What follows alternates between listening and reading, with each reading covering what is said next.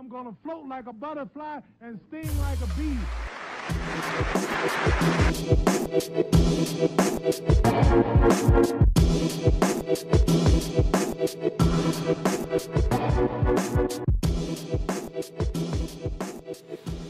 So in this last one, I'm not gonna be able to get the hook over there because he's gonna block, my view with that leg. So get up, he gets up.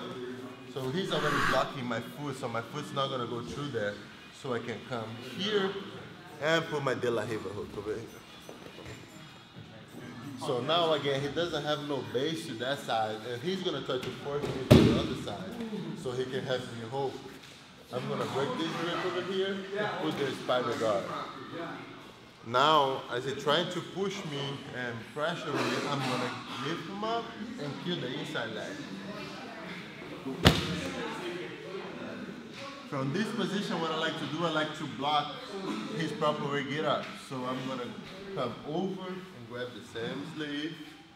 Now I can use my hand to base and get up. So every time I'm on the side control, I like to be by the hips first to stabilize the position. Because if I control his hips or even get um, under his leg, he's not gonna turn anywhere.